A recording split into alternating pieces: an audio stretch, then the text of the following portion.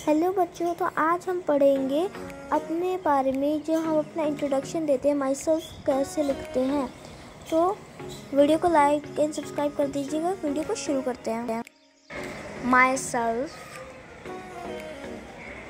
my name is Sukanya आपको सुकन्या के अलावा अपना नाम लिखना है। Second I am eleven year old आपको यहाँ पे अपना ईयर लिखना है। आप कितने साल के हैं? Third I am study on class six आपको यहाँ पे अपनी क्लास लिखनी है। I am I am girl यहाँ पे आपको अपना जेंडर लिखना है। My hobby is playing dodge ball and dancing तो यहाँ पे आपको अपनी हॉबी लिखनी है।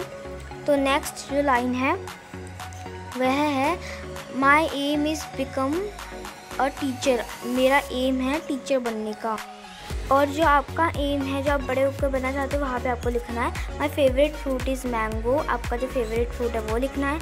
My favourite subject is science यहाँ पे जो आपका फेवरेट सब्जेक्ट है, आपको वो लिखना है।